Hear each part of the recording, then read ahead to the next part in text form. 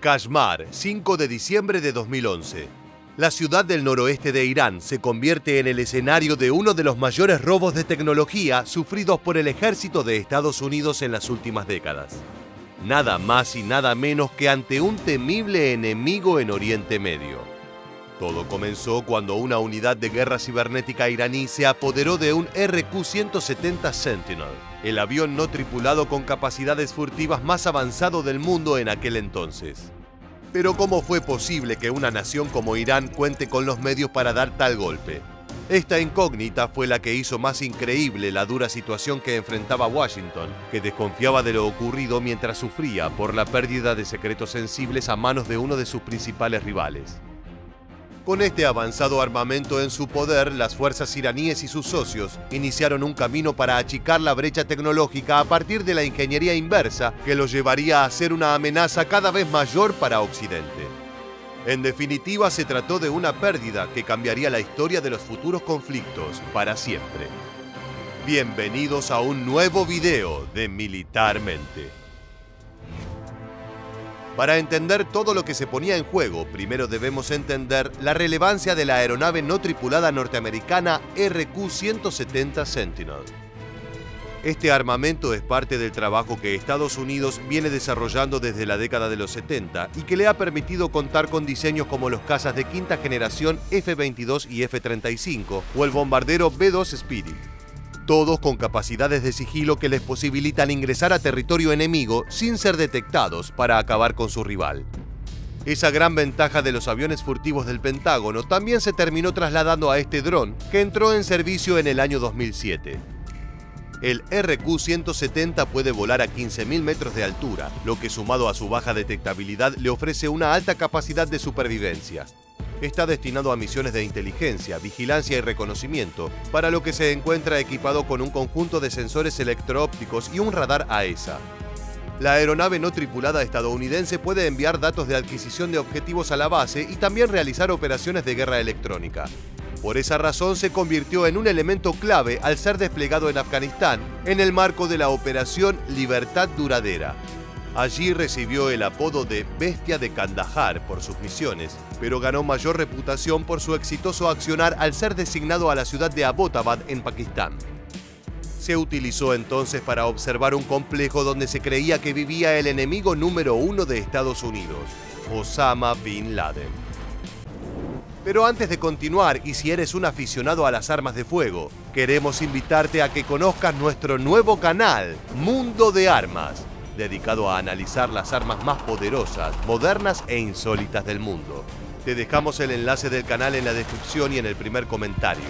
No te lo pierdas y danos tu apoyo suscribiéndote al canal. Ahora sí, continuemos.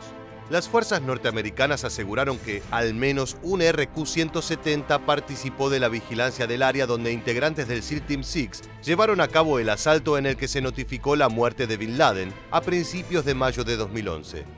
La nave habría sido la encargada de proporcionar seguimiento visual continuo del ataque, que fue así contemplado en directo por el presidente Barack Obama y sus principales asesores de seguridad nacional.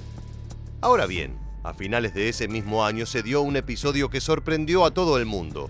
Ocurrió el 5 de diciembre, cuando Irán logró no solo detectar, sino también derribar al más moderno vehículo no tripulado estadounidense de aquel entonces.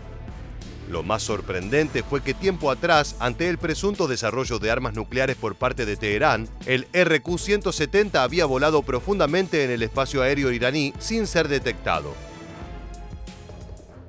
De esa manera pudo llevar a cabo tareas de reconocimiento de diferentes sitios que generaban preocupación en Occidente, pese a que estaban fuertemente defendidos por varias instalaciones de radar y cazas F-14 Tomcat. Pero esta vez la situación era distinta y todos los secretos que le permitían dominar los aires y enfrentar a cualquier rival estaban a punto de perderse a manos de un rival como Irán. Todo comenzó el 4 de diciembre de 2011, cuando el gobierno de los Estados Unidos afirmó que sus fuerzas en Afganistán habían perdido el control de una aeronave no tripulada y existía la posibilidad de que este fuera el vehículo estrellado cerca de Kashmar. Según los funcionarios estadounidenses, el dron operado por la Agencia Central de Inteligencia volaba en el lado afgano de la frontera con Irán cuando sus operadores perdieron el control del vehículo. Sin embargo, existieron también otros informes donde se habló de un RQ-170 estrellado que estaba participando en la vigilancia de rutina de las instalaciones nucleares iraníes. De todas maneras, ambas versiones llevaban a la misma sospecha, que el dron había sido víctima de la unidad de guerra cibernética ubicada cerca de Kashmar. Esta se habría apoderado del dron norteamericano en las profundidades del espacio aéreo del país, a unos 225 kilómetros de la frontera con Afganistán. Según explicaron desde las fuerzas de Irán, habían interferido y controlado su sistema de guiado de vuelo para llevarlo hacia su territorio. Por su parte, el Departamento de Defensa de Estados Unidos negó fuertemente que el dron hubiera sido hackeado y afirmó en cambio que fue derribado por un arma cinética. Aseguraron que las fuerzas iraníes no contaban con la capacidad para detectar la aeronave y mucho menos de formar un bloqueo suficiente para neutralizarlo.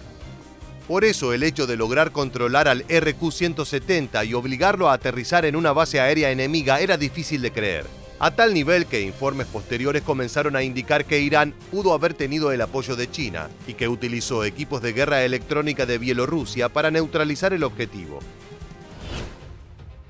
Todavía incrédulos, desde Washington solicitaron la devolución del aparato, pero funcionarios iraníes se opusieron y criticaron duramente a su rival. En primera instancia presentaron una queja ante el Consejo de Seguridad de las Naciones Unidas por violación de su espacio aéreo, y luego el ministro de Defensa Ahmad Bahidi sostuvo, en lugar de disculparse con la nación iraní, Estados Unidos está pidiendo descaradamente que le devuelvan su dron. Se olvidan de que se llevaron a cabo operaciones de espionaje, se violaron leyes internacionales y se interfirió en los asuntos internos de Irán. Meses más tarde, una empresa iraní se burló del pedido de Washington y dijo que enviaría versiones de juguetes en miniatura del dron capturado al presidente Obama como respuesta a su solicitud. Así, la posibilidad de recuperar el vehículo aéreo se esfumaba y aparecían figuras como la del vicepresidente Dick Cheney, quien se mostró disgustado por no actuar de inmediato para destruir el RQ-170 secuestrado y evitar que sus tecnologías sean adquiridas por adversarios potenciales. Según su mirada, el presidente Obama debía dejar de lado su moderación y enviar un ataque. Cheney sostuvo que la respuesta correcta a eso habría sido entrar inmediatamente después de que se cayera el avión no tripulado y destruirlo. Se podía hacer desde el aire y que sea imposible que se beneficien de haber capturado el dron. En cambio, pidió amablemente que se lo devolvieran y no lo van a hacer. No obstante, los analistas occidentales confiaban en que el sector de defensa de Irán no era lo suficientemente sofisticado como para beneficiarse de la aeronave de manera significativa. Pero el tiempo dio la razón a Cheney. En 2014, Irán volvió a sorprender al mundo cuando dio a conocer el Saekheg, un dron basado en el RQ-170 norteamericano que demostró sus capacidades en el extranjero. Las tecnologías furtivas del vehículo no tripulado de Teherán le permitieron ingresar a espacio aéreo israelí y evadir múltiples intentos de neutralizarlo con baterías de misiles Patriot de origen estadounidense. Pero la historia no terminó ahí, ya que con el correr de los años Irán también presentó sus drones de ala volante Shahed 181 y Shahed 191, que además incorporaron la capacidad de utilizar armas guiadas de precisión. Finalmente se dice que sigue siendo alta la posibilidad de que las tecnologías obtenidas del RQ-170 hayan sido otorgadas a China, Corea del Norte y otros aliados iraníes, rivales de Estados Unidos. Por esa razón se puede asegurar que el robo de este dron en manos de un Estado que le es hostil puede ser considerado una de las pérdidas más sensibles para el Pentágono desde el final de la Guerra Fría. Ahora sí, llegó el momento de despedirnos.